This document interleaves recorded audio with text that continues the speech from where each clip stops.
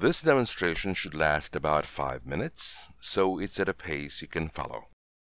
Beforehand, take note that your tie has a fat end and a skinny end, the head and the tail. But it doesn't really matter which side of your body you put the head on, as the knot tying can be done either way. This is a mirror image video to help you follow, and this is my right hand. Aside from the two ends, your tie also has two sides. The face side is what's worn outside and is seamless, and the seam side is at the back. We're going to start with the face side up.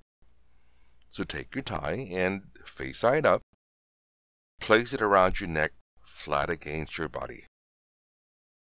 At this point, we're going to adjust for the length of the head when done. You do that by pulling on the tie so that the tail hangs right about the bottom of your rib cage. Remember the starting point is this is how you adjust to make the head hang in front of your belt line after you're done. And it can take several tries. Now we're going to take the head and cross it over the tail, making an X. I'll put it here so it shows face side out now.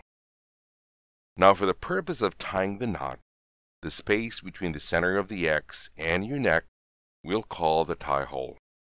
It's this hole here. And there are four ways we can put the head. We can make it come out of the hole. We can make it go into the hole. We can make it go behind the hole. And we can make it go across the hole. To simplify the process, I'm going to use my other hand to do all the work while this hand just holds the X. This X here becomes the knot, so I'll call this hand the knot hand. To begin, with the last three fingers of your knot hand, grab the tail just below the center of the X. Make sure you have a good grip with your knot hand. First, we'll make the head go behind the hole. So go ahead and reach behind the hole, grab the head and pull it over to the side. You can see that the seam is now facing out. Next, we're going to make the head go across the hole. At this point, notice that you have the thumb and forefinger of your knot hand over the center of the X. With that in place, go ahead and move the tie across the hole. I'll move it here so it shows face side out now. Then we're going to make the head come out of the hole. So go ahead and reach behind the hole, grab the tie, make it come out of the hole, and pass into the two fingers of your knot hand. That's what it was for. Then pull the rest of the head through. Let it fall in front of you.